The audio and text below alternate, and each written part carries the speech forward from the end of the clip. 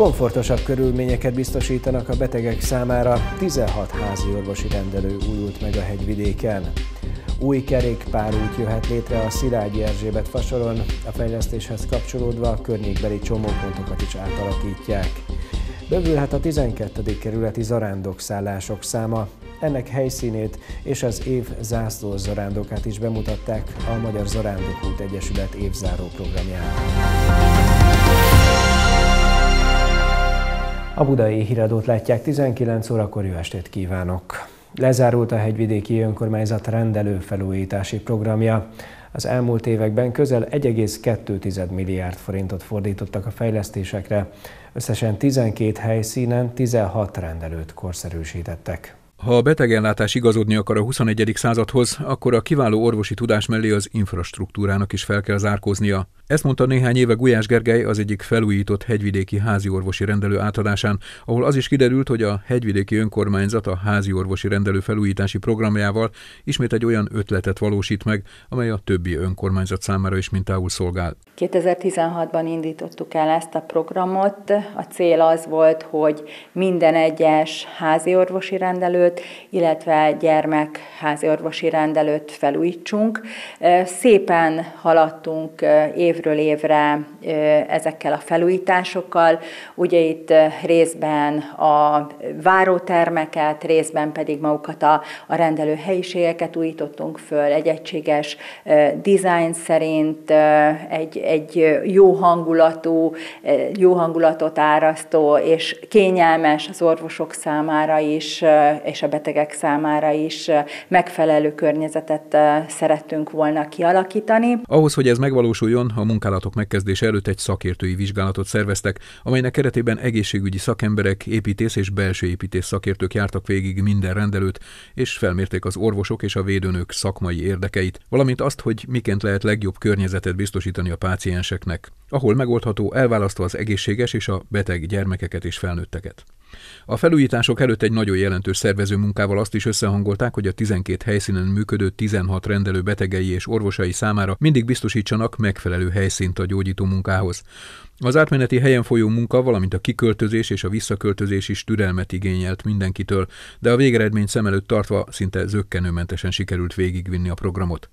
Elsőként 2017. februárjában a Böszörményi úti gyermekorvosi rendelőt újították fel a szakemberek, ezt követte a Ráczaladár úti, a Fodor utcai, az Ugocsa utcai, Normafa úti, az Ugligeti úti házi orvosi rendelő, majd a Beethoven utcai és a Kis János Altábornagy utcai rendelőn volt a sor. Idén ősszel pedig elkészültek az utolsó rendelő felújításával is, amely egy műemléképületben kapott helyet. A Szilágyi Erzsébet Fasor 18-nak az emeleti szintjén kialakítottuk a háziorvosi rendelőnket, négy házi orvos számára, akiknek a tulajdonképpen rendelési tere meg is nőtt, hiszen az eredeti helyszínen a Böszörményi úton, ahonnan oda költöztek, ott két rendelőben, váltásban tudtak rendelni, itt viszont minden házi orvos kapott egy önálló helyet is 1,2 milliárd forintot költöttünk összesen erre a projektre, és én a visszajelzésekből azt tapasztalom, azt szűrtem le, hogy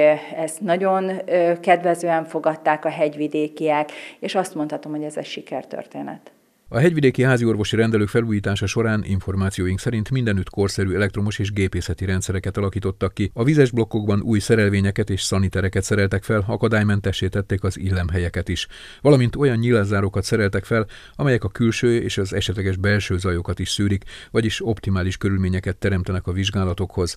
És ahogy a felvételeken is látják, a gyermekrendelőket falmatricákkal és még inkább felszereléssel tették vidámabbá, a várakozó helyiségekben pedig rajzasztalok és babzsák fotelek várják a kisbetegeket. Egyelőre mégsem zár be a MOM-sport az elszálló energiaárak miatt a 12. kerületi önkormányzat energetikai munkacsoportot hozott létre, amelynek az volt a feladata, hogy felmérje az intézmények energia felhasználását és ajánlásokat fogalmazzon meg a takarékosabb működés érdekében. Így volt ez a MOM sport esetében is. Az önkormányzat közése szerint az eddigi megtakarításoknak köszönhetően a MOM sportban eredetileg januárra tervezett szénszünet elhalasztható. Készpénzmentessé válik 25 BKK automata, azaz csak bankkártyával lehet fizetni a jegyekért és a bérletekért. A közlekedési cég azzal indokolta a döntést, hogy egyre többen használnak csak bankkártyát. Az automatás vásárlások 60%-a így történik. Az érintett készülékeknél matricával figyelmeztetik az utasokat, hogy készpénzzel nem tudnak fizetni, a pénzkiadó és elfogadó nyílásokat pedig letakarják. Önálló kerékpárút jöhet létre a Szilágyi Erzsébet fasoron, a fejlesztés részeként több csomópont átépítése is megvalósulhat.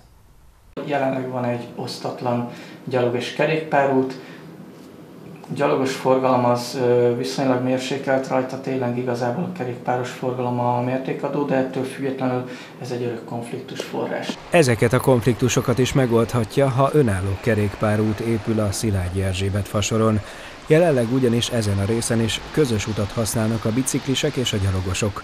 A tervek szerint a Szilágyi Erzsébet fasor ezer része néhány éven belül megújul, az átfogó közlekedési fejlesztésnek pedig része a kerékpározás feltételeinek javítása, vagyis önálló bicikliút kialakítása. A tervek többsége most arra megkapta a szükséges engedélyeket, most pedig megkezdték a hozzá kapcsolódó csomópontok átalakításának előkészítését. A bicikliút több forgalmas kereszteződésen is átvezetne. A kapcsolódó csomópont, ami a Budakeszi út, Hűvösvölgyi út, Zugligeti út, ez a Budagyöngye Szép Ilona csomópontot oldja meg. Ez egyfajta második ütem. Ez az, aminek most a tervezési közbeszerzése elkezdődött.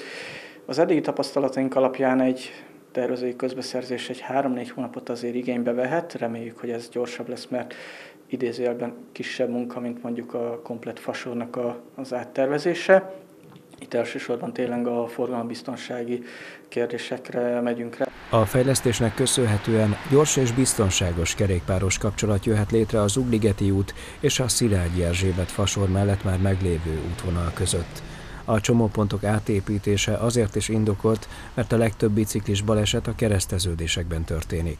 Jelenleg, hogyha a kerékpáros szabályosan akarná az Ugligeti utat a Budagyöngye felől elérni, akkor annyi választásra van, hogy gyakorlatilag fölhajt a Budakeszi útnak a közúti sávjába, ami lássuk be elég forgalmas, semmilyen külön kerékpáros infrastruktúrája nincsen, és a szép Ilona kocsi szín előtt valahogy besorol a balra kanyarodó sávba, ami megint igazából csak a rutinosabbak számára opció. A beruházás során nem csak az útpályát kell átépíteni, de például a felső vezetékeket tartó oszlopok áthelyezésére is szükség van. A jelenlegi becslések szerint a csomópontrendszer átépítése 2024 első felében kezdődhet el. A fővárosi fejlesztéseket összefoglaló Budapesti Mobilitási Terv 2030 egyébként kiemelt helyen kezeli a kerékpáros beruházásokat. Hát a Covid az egy vízválasztó volt.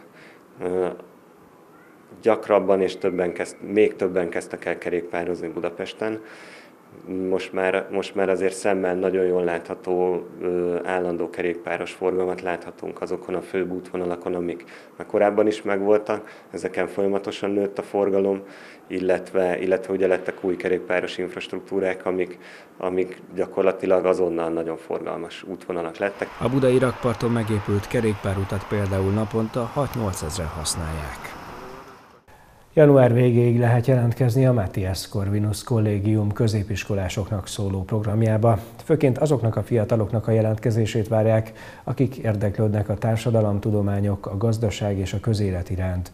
Újdonság, hogy már olyan angol és német nyelvű kurzusok is elindulnak, amelyek a beszédkészség fejlesztésében segítik a diákokat. A hagyományos órák mellett e-learning képzéseken is részt vehetnek a fiatalok, a középiskolásoknak szóló programba az MCC honlapján lehet jelentkezni. Ismét egyre többen vesznek részt a Magyar Zarándok úton, amely a hegyvidéket is érinti. A kerületben hamarosan egy új zarándok szállást alakítanak majd ki. Ennek helyszínét is bemutatták a Magyar Zarándok út Egyesület évzáró programján. Idén tavasszal a hegyvidékről a Normafától indult a Magyar Zarándokút Egyesület évnyitó túrája, amelynek a startjánál az egyébként klasszikus kék túra útvonalat már teljesítő Pokorni Zoltán is ott volt. A hegyvidék egyfajta keretet adott a Magyar Zarándokút Egyesület éves programjainak, ugyanis ma az évértékelő találkozó is a kerületben a Normafa látogató központban volt. A hegyvidéki önkormányzat egyébként az Egyesület alapítói között, illetve a támogatói között is fontos szerepet tölt be. Mi abból profitálunk a legtöbbet, hogyha a hegyvidékiek útnak indulnak, és megnyugodva, kisimulva, jobb lélekkel és nyitottabb lélekkel érkeznek vissza. Vannak olyan települések, akik számára ez gazdasági kérdés is, hogy legyenek ott turisták, szálljanak meg, egyenek a falu vendéglőjében, igyanak a falu kocsmájában. A főváros, a hegyvidék nem szorul rá erre. Itt mi inkább használói vagyunk az arándok útnak, és nem pedig a vendéglátók szerepét tartjuk fontosnak, de szívesen alakítjuk ezt is itt, ezért hoztuk létre az szállást. A magyar útvonal kialakításához is inspirációt adó spanyolországi El Camino zarándokútnak sokkal nagyobb az ismertsége, és a hossza is legalább kétszerese a magyar útnak, ám a résztvevők szerint az ország szépségeinek nagy részét megmutató magyar út hoz igazán testi és lelki felüdülést a honi zarándokok számára. Ezt jelzi az is, hogy évente akár 2000-en is végigjárják a 430 kilométeres távot, illetve sok ezerre tehető azoknak a száma, akik rövidebb, hosszabb részét bejárják. A feltételek ehhez optimálisak, hiszen a szakrális helyek mellett átlagosan 20 kilométerenként van például zarándokszállás is. A fő nyomvonalunk Esztergom és Mária gyűjt között alapvetően változatlan, kisebb korrekciók azért vannak a, az útvonal vezetésében, különböző okok miatt. Most itt pont a 12. kerületben van egy pici változás, vagy lesz egy pici változás a közeli jövőben.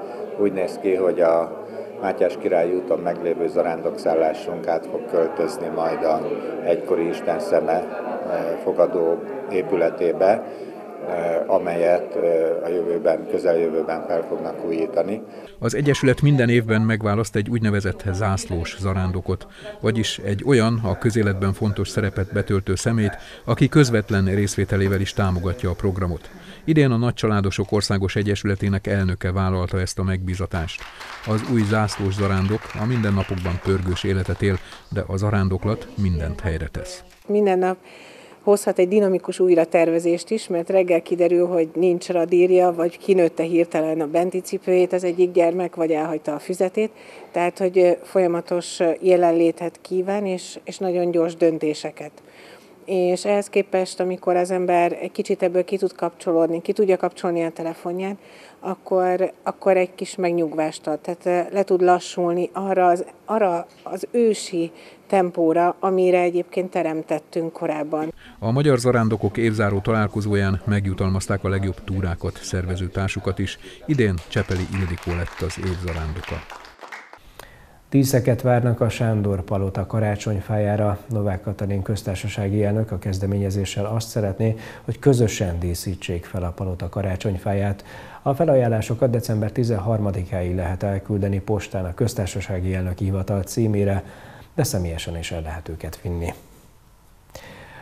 A Szent János Kórház kisbetegeihez már megérkezett a Mikulás, aki egy különleges fényrendőrautóval lepte meg a gyerekeket. A speciális járművet az elmúlt években a rendőrség Teve utcai székházánál állították ki, most pedig néhány órára átszállították a Szent János Kórházhoz.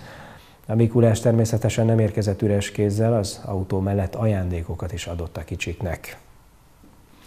Híreinket, riportjainkat visszanézhetik honlapunkon a hegyvidéktv.hu-n.